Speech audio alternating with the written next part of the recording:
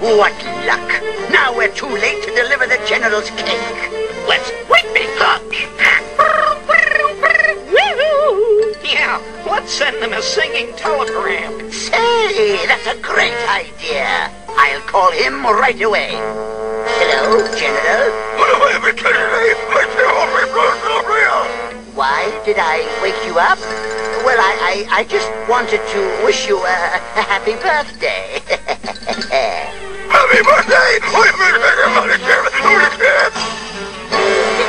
It's, it's not your birthday, General? It's not? Well, then, whose birthday is it? it it's mine?